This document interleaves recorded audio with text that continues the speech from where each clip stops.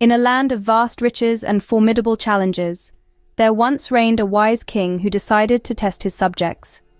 One bright morning, he placed a colossal rock in the middle of the main road, hiding a bag of gold underneath.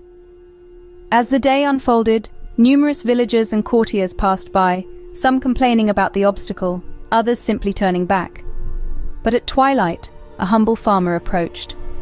Instead of turning away, he pushed and heaved until the rock moved, unveiling the hidden treasure. The king, watching from afar, knew he had found not just a man of strength, but one of great character. This tale reminds us that within every obstacle lies golden opportunities for those willing to push through.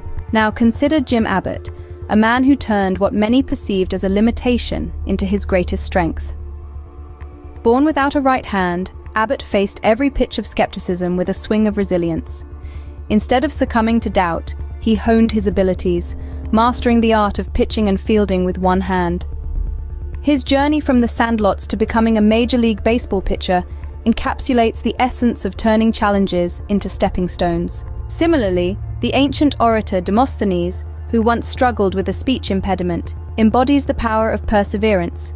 He filled his mouth with pebbles and recited verses while running up steep hills to strengthen his voice.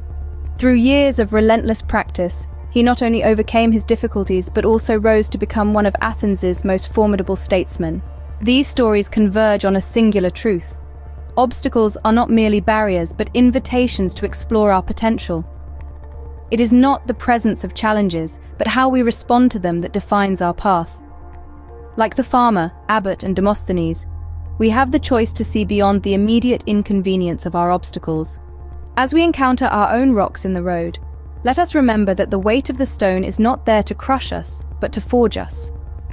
Each struggle, each setback is a sculptor's tool, shaping us into better, stronger versions of ourselves. We might not find a bag of gold under every rock, but with persistence and courage, the rewards we unearth can be far greater. So as we face the myriad challenges life throws our way, may we embrace them with the fortitude of a king's subject, the determination of a one-armed pitcher, and the eloquence of a pebble-mouthed orator. For in every challenge there lies a profound opportunity to rise, to conquer, and to triumph. Remember, within every obstacle lies the seed of equal or greater benefit waiting for us to nurture it into bloom.